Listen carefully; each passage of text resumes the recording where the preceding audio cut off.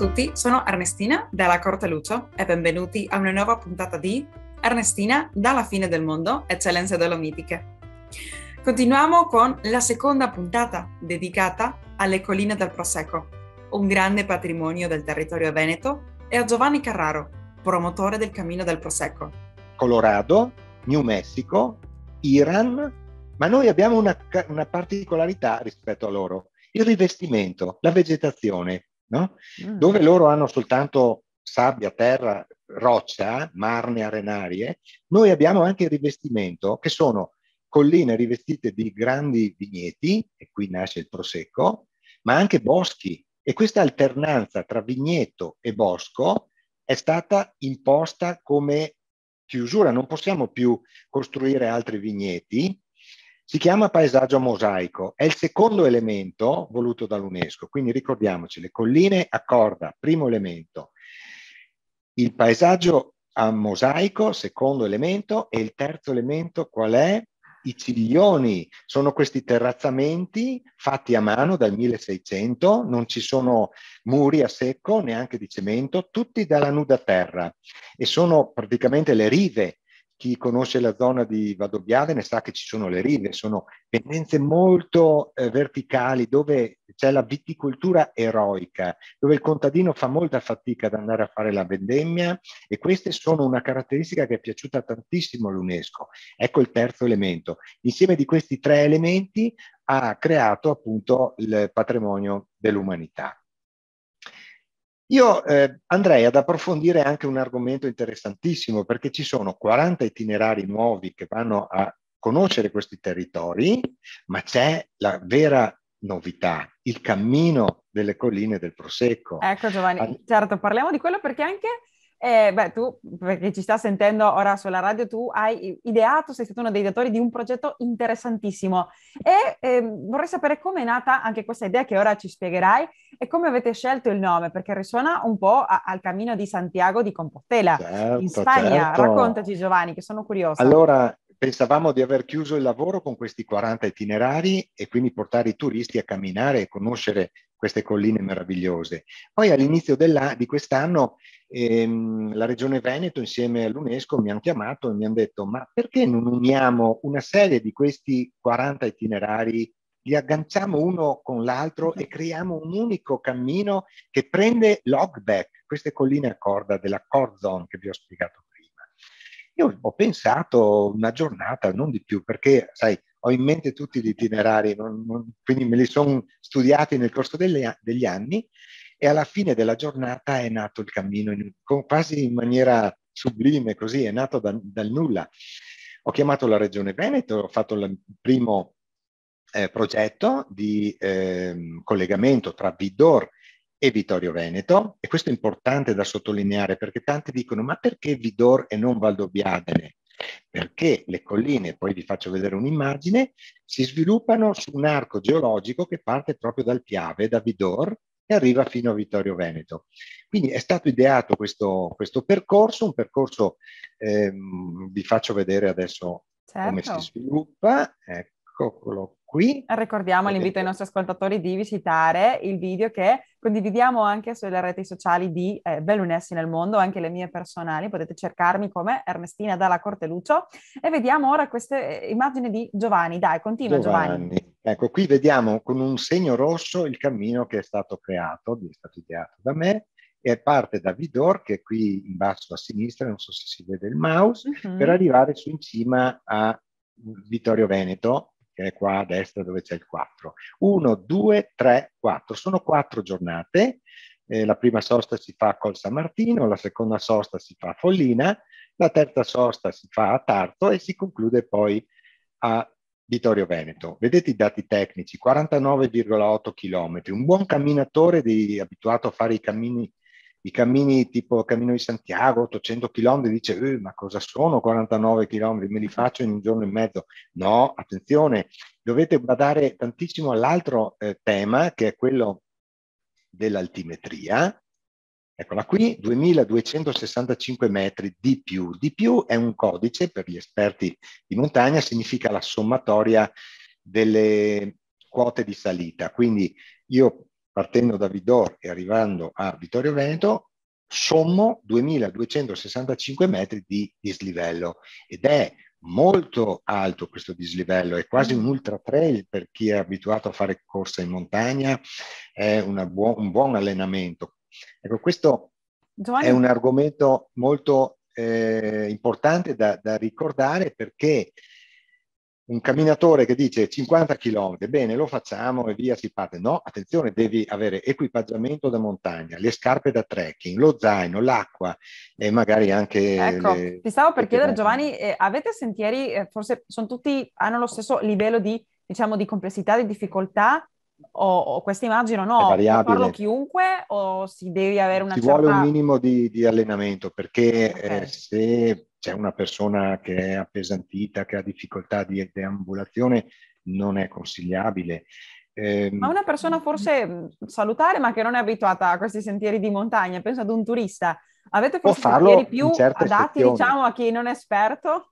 Ancora? Ha delle sezioni magari più semplici, ad esempio il primo settore da Vidor fino a Col San Martino, fino a, anzi, fino a eh, Col... Um, Col Bertaldo, che è il primo tratto da circa eh, 6 chilometri più o meno, quello si può fare tranquillamente, è per tutti, perché si va in mezzo ai vigneti, c'è un sentierino molto dolce, si fa visitare l'antico castello di Vidor che poi è diventato monumento ai caduti, insomma c'è tanta anche storia di grande guerra qui, perché c'era la linea di confine e idealmente poi lo vediamo eh, ha una valenza storica legata alla Grande Guerra molto importante. Ancora non te lo dico perché dobbiamo andare passo per passo a scoprire.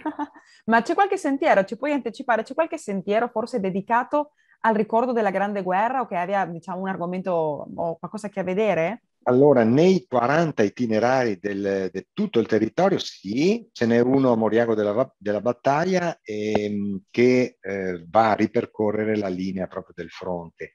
Qui abbiamo delle zone legate alla Grande Guerra perché c'erano delle postazioni dell'esercito austro-ungarico, molto frequentemente si trovano trincee, si trovano gallerie, si trovano ehm, eh, muri dove posizionavano le mitragliatrici, c'era addirittura un eh, bunker piccolino dove partiva il Draken, che il Draken era una mongolfiera degli austriaci che veniva portata in alto e facevano le foto dall'alto, le foto chiamate anche ortofoto, per capire i movimenti del, del loro nemico, appunto, che, era, che siamo noi italiani alla fine. No? Quindi diciamo, troviamo tante eh, temi legati alla Grande Guerra.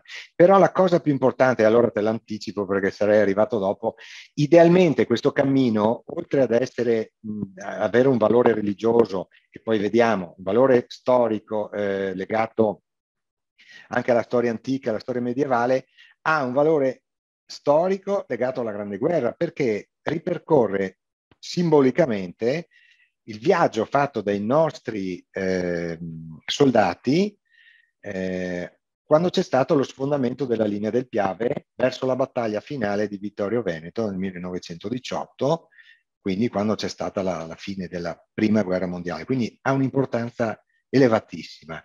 Ci sono stati i caimani del Piave che hanno eh, attraversato appunto nella zona di Moriago e Mosnivo, quel, quell'area, c'è stato il primo sfondamento, eh, erano chiamati anche ardi, arditi, c'è il monumento degli Arditi a Sernalia della Battaglia che ricorda tutto questo passaggio e quando poi loro hanno fatto il primo sfondamento poi si è unito il resto dell'esercito e tutti insieme sono confluiti nella pianura eh, della, del quartiere del Piave per portarsi pian piano verso Vittorio Veneto e lì hanno respinto il nemico. Ecco, il nostro cammino si sposta non esattamente dove è passato il soldato, perché sta in collina, però fa esattamente la stessa rotta, quindi la mm. stessa distanza, 50 km, noi oggi li facciamo sorridendo e loro forse l'hanno fatto con qualche meno, un po' meno sorridenti, no? Eh. Quindi ci, ci fa rabbrividire queste cose.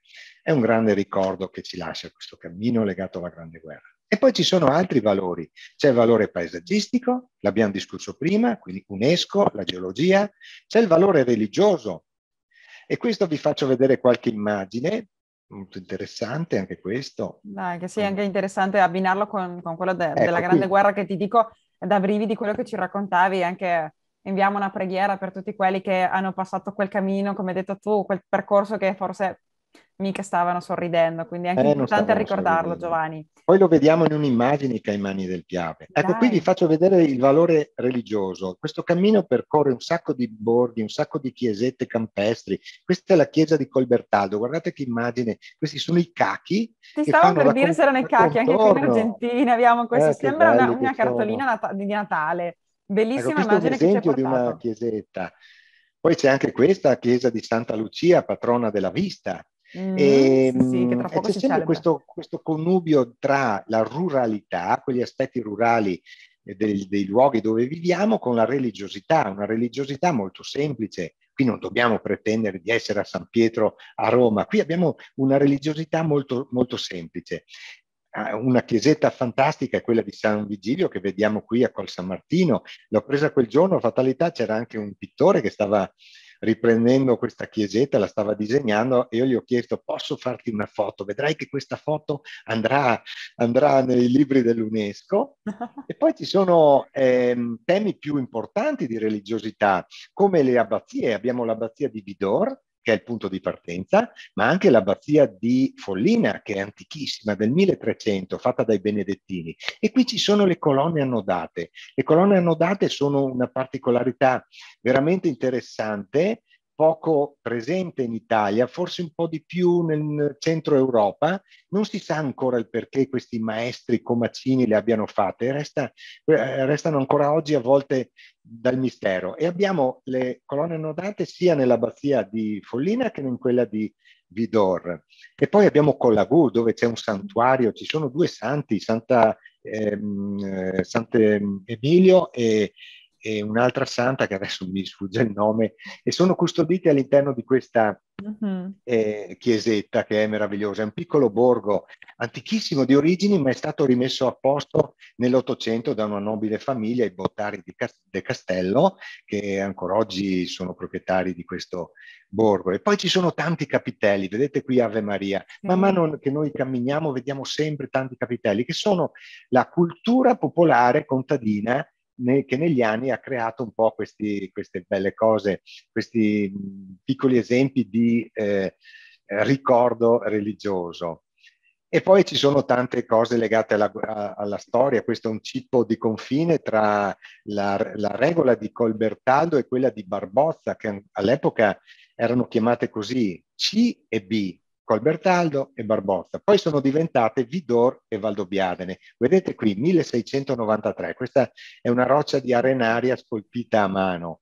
E poi vedete queste, queste colline spettacolari con questi vigneti, vi ho detto prima che ci sono questi terrazzamenti chiamati ciglioni ed è una delle tre caratteristiche del territorio UNESCO. Lì vedete tre torri. Queste le, sono le torri di Credazzo, eh, sono famosissime, è diciamo la, il fortilizio medievale più importante delle colline del Prosecco, sono ricordate anche dal sommo poeta, da Dante nel, nella Divina Commedia, eh, nel Purgatorio, perché si ricorda a proposito di Gaia da Camino, che era una poetessa e viene citata appunto da questo eh, grande poeta. Vedete che c'è il castello e poi più distante la sua chiesetta, che è collegata sempre a questa proprietà. Fu distrutta dagli Ungari, poi divenne proprietà di, eh, dei Collalto e poi anche dei, della famiglia ehm, vittoriese dei Da Camino e in epoca più recente è, stata, eh,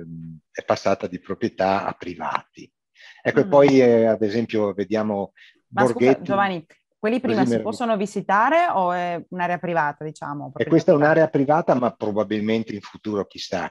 Il ah. privato io lo conosco, è una persona molto aperta alla, mm, alla, alla alla cultura e ai paesaggi, alla bellezza del nostro territorio, non si sa mai che un domani possa Speriamo. sicuramente dedicare delle visite guidate perché merita veramente di vedere queste bellezze del nostro eh, territorio. Ecco, qui è un altro borgo, abbiamo Arfanta, Arfanta con la sua chiesa, all'interno c'è un'opera molto antica di un pittore eh, Francesco da Milano, e ce ne sono tantissimi, insomma. Ecco, qui stiamo per finire il cammino, stiamo entrando a Serravalle di Vittorio Vento, vedete le mura, queste mura sono quel che resta della città fortificata di Serravalle, appunto della famiglia dei Da Camino, che erano i proprietari di, per un certo periodo di quel castello che vi ho fatto vedere prima, e anche qui si entra nella storia, guardate che spettacolo. Qui siamo alla fine, proprio quando le, le gambe sono stanche, però il sorriso ritorna a vedere questa meraviglia del eh, nostro sì. territorio, si entra a Vittorio Veneto dove c'è questo museo eh, appunto del Cenedese che ehm, che è uno spettacolo veramente. Eh, sembra Venezia quasi, forte eh, sì, c'è, c'è, molto di Venezia lì, ci sono le bifore, le trifore, insomma c'è tutto questo argomento. No, veramente Giovanni ti ringrazio per queste immagini che ci hai portato perché veramente è come fare un, una passeggiata in quei cammini, in questo cammino, del pros- cammino delle colline, no? del Prosecco, che veramente invitiamo i nostri ascoltatori a fare al più presto. Diciamo, si possono già eh, visitare e percorrere o è un progetto che ancora non è finito? No, non si può. Non è finito, adesso è stata fatta la prima mm. fase, quella della progettazione da parte mia, adesso è in Regione Veneto per eh, approfondimenti tecnici legati alla ad esempio i privati che devono essere coinvolti, e poi c'è la parte della tabellazione, quindi la creazione delle tabelle che verrà fatta nei prossimi mesi, ci sarà un ponte che verrà creato per il passaggio di un fiume che oggi si passa tirandosi sui pantaloni scalzi e anche così avventuroso, però ovviamente non tutti gradiscono questi, questi aspetti così da trekking e quindi verrà fatto un, un ponte e poi, e poi, partiamo con un grande evento di inaugurazione di tutti i 40 sentieri, 40 sentieri, del territorio, del cammino dell'UNESCO e poi porteremo un sacco di gente. Io invito tutti i bellunesi e gli italiani nel mondo a venire quando avranno una possibilità per il lockdown, ma anche quando avranno tempo, di prendere un biglietto d'aereo con le Aerolíneas Argentina, non so come si chiama il, la compagnia aerea. sì, ma vostra. ci sentono in tutto il mondo, quindi non possiamo deciderci su solo una, ah, vero, ma speriamo... non è solo l'Argentina, c'è anche gli Stati Uniti, il Canada. Io ho dei parenti in Canada, a Toronto, possono venire a vedere queste dalla, dall'Australia anche possono venire insomma da tutte, parti, da tutte, le parti del mondo per vedere questa bellezza. Vi faccio vedere una immagine molto bella delle, delle colline per cui si vede Dai. anche il cammino. Eccolo qui, qui si vede interamente le colline. Il ah, cammino, bello. pensate, lui corre lungo tutta questa eh, cresta, questa linea di cresta, ed è uno spettacolo, è veramente un viaggio nella natura, un viaggio nella storia, un viaggio nella storia geologica, perché andiamo a vedere poi diverse porzioni eh, della geologia, si va da una serie di colline di 30 milioni di anni fa con le conchiglie, marne e arenarie, si va invece anche ai 7 milioni di anni più recenti, tipo la collina di San Gallo, dove abbiamo eh, il conglomerato e le argille, quindi anche camminando si sente con i piedi differenti eh, pressioni, quindi il, la roccia dura della marna e dell'arenaria e magari la roccia, il terreno più soffice, più soffice del, eh, del, conglomerato oppure della, eh, della, dell'argilla. Insomma, è un viaggio veramente fantastico in tanti eh, argomenti. Eh beh, grazie anche per raccontarci tutto questo Giovanni, veramente è un piacere sentirti anche vedere tutto il materiale che, che hai e che ci hai mostrato perché guarda, è una cosa bella da vedere, bella da scoprire, bella da raccontare, immagino. Eh, questo, beh, queste colline, diciamo, anche queste, questo riconoscimento UNESCO è, penso che un, un punto di partenza, diciamo. Voi avete altri progetti e, e, sogni per il futuro, anche con l'Associazione Colline Patrimonio UNESCO? Beh, questo è soltanto un punto di inizio perché cosa vuoi? Sono passati soltanto due anni eh, dalla nomina UNESCO. Il, il, turista sta cominciando ad arrivare pian piano e hanno già avuto eh, un buon incremento di eh, presenze, però eh, il, l'obiettivo è in dieci anni è di eh, quintuplicare l'affluenza. Si, si arriverà a un milione di presenze secondo i dati di turisti e quindi ci saranno tantissimi eventi. Diciamo che quello che io ho fatto è una, soltanto una parte di quello che sarà il mondo del, delle colline del Prosecco legate all'UNESCO, perché non c'è solo il camminare, perché finito la, la, la, camminata dobbiamo andare a mangiare lo spiedo, bere un buon bicchiere di... Voi avete il Carmener laggiù, no? Qui abbiamo anche il Carmener, ma c'è anche il Cabernet. E quindi dobbiamo andare in un buon ristorante. Finito il ristorante dobbiamo andare a dormire, quindi ci vuole l'alloggio, ci sono questi bed and breakfast, ci sono dei belli hotel, anche 5 stelle se volete, cioè una stella, due ah. stelle, tre stelle e anche 5 stelle. Quindi c'è per tutti la, la possibilità di eh, attingere a strutture ricettive, eh, musei, la possibilità di vedere anche i laghi. A Revine ci sono i laghi, abbiamo la collina, il lago, a un'ora di, di strada abbiamo il mare. Quindi un turista può fare tutto. Un'ora di strada può andare sulle Dolomiti, a vedere Cortina, a vedere certo. Belluno, a vedere... Invitiamo. Eh, Anche speriamo di, di, poter tornarci veramente più presto, Giovanni. Ehm, immagino che è il periodo, ma tu come rappresentante anche della Fondazione UNESCO e dell'Associazione Colline ehm, del Prosecco, eh, non è stato facile questo periodo che un po' è ancora di crisi sanitaria. Voi come avete affrontato, diciamo, questa, questa realtà?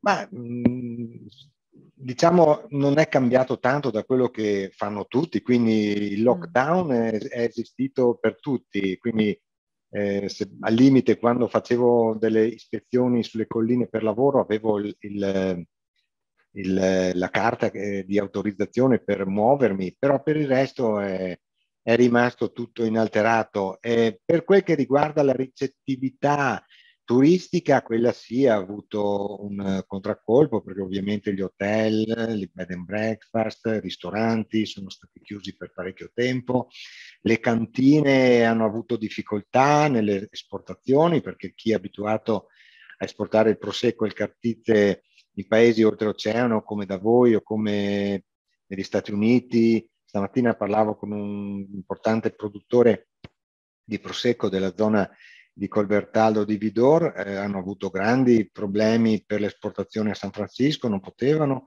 e loro hanno grandi clienti lì. No? Adesso si è aperta un po' la possibilità di ritornare a, a, un lavoro più tranquillo, ma si è presentato un altro problema, quello dell'approvvigionamento del, del, dei materiali, quindi manca le bottiglie, mancano le capsule, mancano i tappi. E questo problema del Covid ha creato un disastro dappertutto. Veramente. Veramente. Quindi speriamo che il futuro ci porti delle belle cose e il vaccino aiuti un po' a, a cancellare questo brutto periodo e dobbiamo guardare in avanti e guardare cose positive perché diciamo la terra è lì che ci aspetta, le colline ci aspettano, ma noi dobbiamo affrontarle con serenità. Ecco, questo sì. Ecco, Giovanni, è veramente un piacere. Dimmi in poche parole perché i turisti eh, bellunesi, italiani, veneti nel mondo che ci stanno sentendo dovrebbero scegliere le colline del Prosecco come una destinazione? Ma mm, guarda, Belluno eh, ha tantissime cose da vedere, io mi sento sempre con questa vena bellunese dentro, quando vado in piazza dei Martiri a Belluno io mi diverto, sto bene, sto veramente bene. Lì abbiamo una conca meravigliosa, il Monte Serva, lo Schiara, il Pizzocco e quindi il Nevegal, siamo contornati dalle montagne. Quando poi si va a Cortina, si va ad Auronzo, si va ad Alleghe e nello Zoldano si vedono altre realtà, si vedono queste grandi pareti di 3.000 e oltre metri, quindi c'è veramente uno spettacolo della natura. Perché scegliere di andare oltre il Fadalto e oltre la stretta di Quero? Ma semplicemente perché si vedono altre realtà, perché la montagna è completamente diversa, non ci sono le grandi pareti di arrampicata, ma abbiamo comunque delle mh, elevazioni e delle altimetrie di tutto rispetto, quindi anche se uno vuole fare allenamento lo può fare perfettamente. Quando si va nelle Dolomiti a camminare si sa bene che una buona escursione è di mille metri di dislivello. I mille metri li troviamo anche sulle colline, quindi anche uno abituato a fare fatica, la, vi assicuro che la fatica la fa anche sulle colline del Prosecco. E poi perché venire nelle colline del Prosecco? Lo dice anche il nome, per bere un buon bicchiere di bollicine, di Prosecco, ma anche di Cartizze, che è questo cru. Il Cartizze è una selezione, diciamo, è una zona ristretta, chiamiamola cru, no? sono 106 ettari di terreno dove abbiamo una presenza di un territorio di, fatto di marna, di arenaria, molto particolare che conferisce un, un, uh, particolari profumi a questo vino ed è diventato famoso. Quindi quando voi andate al ristorante e vedete la lista dei vini, chiedete sempre al vostro sommelier, ma è prosecco o cartizze? E c'è una bella differenza. Eh? E poi il mangiare. Ah, io sono anche un buon gustaio, qui c'è lo spiedo, no? nella zona di Valdobbiadene, nella zona di Cison di Valmarino, Follina, c'è lo spiedo, che è una tradizione eh, molto antica, eh, ma io penso che poi i veneti sparsi nel mondo, anche se ormai stanno dimenticando le tradizioni perché passa il tempo, io credo che lo spiedo lo conoscano un po' tutti, no? È arrivato anche qui, no, mangiare un'abitudine, diciamo, in Argentina molto buono, eh già viene l'acquolina in boccia, figurati. Eh, ehm... Voi avete la passione anche delle carni, io so che non ci sono mai stato in Argentina, ma so che avete questa eh, tradizione del, cos'è che avete, l'asado? Assado, bravo Giovanni, Assado. ti aspettiamo a braccia aperte qui in Argentina, alla fine del mondo, ma anche in America, penso, perché beh, qui vedrai eh, tanto eh, di italianità, c'è anche una comunità veneta, si cerca di mantenere sempre vivo questo legame anche con la famiglia bellunese dell'Argentina, eh sì. eh, che beh, è sempre un piacere essere in contatto con tanti bellunesi e discendenti che invitiamo anche, eh, che, sai che noi raccontiamo le loro storie di immigrazione nella rubrica del programma Ernestina dalla fine del mondo, storie di immigrazione, perché è importante essere in contatto, diffondere quelle storie perché si creano beh, così tanti eh, collegamenti, tanti nuovi amicizie, è bello sempre essere eh, in contatto. Come Poi io ho anche un parente, ora. ho un parente nella zona del, um, di Santa Fe, credo, che è un sì. Carraro che si è trasferito tanti anni fa. Io non l'ho mai conosciuto, lo conosce mio padre, quindi anche se non so come si chiama esattamente, so che è un Carraro, io gli, mando un grande saluto, un grande abbraccio. Anche noi, anche tutti gli altri. Un eh? appello eh? a che si faccia presente, si faccia vivo, così possiamo anche eh, contattarlo. E sarebbe bello fare anche poi una puntata con te e con il tuo parente lontano. Che ne dici?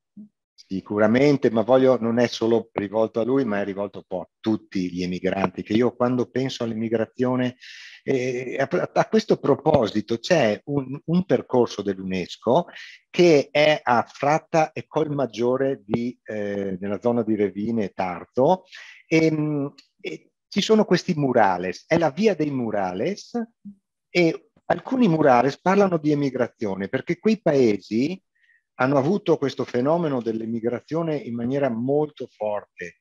Qui abbiamo ad esempio Segusino che ha avuto tanta immigrazione, abbiamo avuto Colmaggiore di Tarzo che ha avuto tantissima immigrazione e quindi se c'è qualche ascoltatore che ci sta ascoltando appunto di Segusino, di Colmaggiore, di Tarzo, eh, eh, lo saluto. Eh, dai, come anche un po' di nostalgia perché pensare a questi uomini che sono partiti con le valigie di cartone senza sapere dove arrivare, eh, saltare, eh, scavalcare il, l'oceano ed arrivare in queste località e non avere il lavoro, non conoscere nessuno, c'è stato veramente coraggio, eh, spirito di sacrificio e sono stati veramente delle grandi persone con grande forza di volontà. Io li invidio queste persone. Eh, ma Giovanni, sai che hai, colto benissimo anche un po' eh, lo, lo, spirito e, eh, diciamo, quella eredità che vogliamo trasmettere quando raccontiamo queste storie, no? che possiamo imparare tanto di queste persone che hanno avuto un grande coraggio, hanno cercato nuovi orizzonti in posti diversi, in posti lontani, anche come la fine del mondo, eh, ma veramente persone molto coraggiose, molto brave che hanno saputo e andare avanti, no? È per quello che certo. cerchiamo sempre di raccontare queste storie. Beh, Giovanni, veramente è un piacere eh, averti avuto oggi qui con noi. Grazie per il tuo tempo, la tua disponibilità, per la tua energia, per tutto quello che ci hai raccontato con, con tanto amore, con tanta passione. Eh, beh, io ti saluto e speriamo risentirci nuovamente in una prossima intervista raccontando come stanno andando questi progetti. Che ne pensi? Io, per, per, me è stata una, una, intervista veramente bella perché in genere qui almeno siamo abituati a interviste di pochi secondi, veloci, qui è tutto veloce, fast, no, calma, facciamo anche un po' la vita slow. Con la vita slow si, si tirano fuori un sacco di argomenti, si può discutere molto eh meglio del, del tema di approfondimento. Io vi ringrazio tantissimo, ringrazio te Ernestina che ti ricordo, ti chiami come mia madre Ernestina. Sì, brava. Io ringrazio tutti gli ascoltatori di tutto il mondo, di emigranti dell'Italia, del Veneto che sono andati via, ma so che hanno ancora una parte del cuore qui da noi e vi lascio con un, con un motto che ho creato per il cammino dell'UNESCO. Il, il cammino eh, è un viaggio, la vita stessa è un viaggio, dunque il cammino è la metafora della vostra vita. Vi saluto oh. e un bacio a tutti. Ma che bello Giovanni, grazie per condividere. Beh, nuovamente è stato un piacere, grazie per queste parole e anch'io vi saluto a voi cari amici bellonessi nel mondo, vi aspetto prossima settimana e vi saluto da qui, dalla fine del mondo. E parlando di moto, come dice il motto dell'associazione Bellonessi nel mondo, vicini e lontani, mai soli. Ringraziamo Ignazio dalla Corte Lucio per la musica e il montaggio e Patrizia Lucio alla regia.